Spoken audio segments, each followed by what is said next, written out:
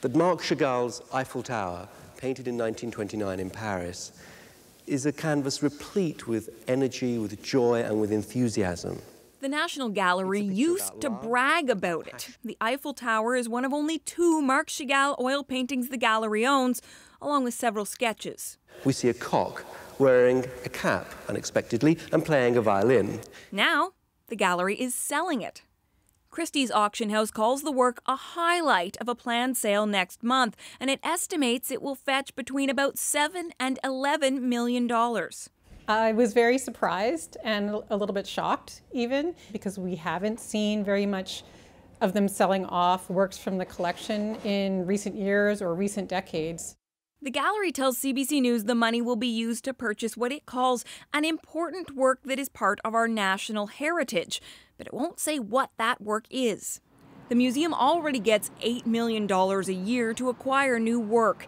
It says this Chagall was offered privately to more than 150 museums across the country before it was put up for auction.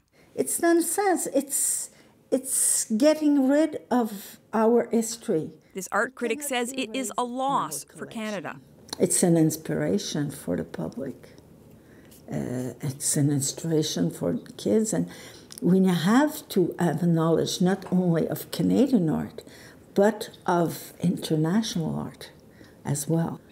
Leah Sandals is reserving judgment.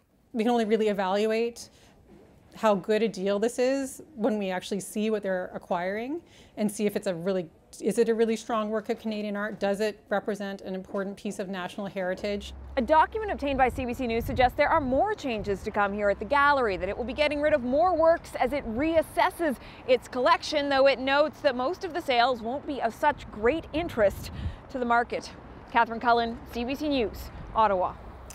As Catherine mentioned there, the sale of this painting could net the National Gallery as much as $11 million, which would almost tie the record sale price for a Canadian work of art.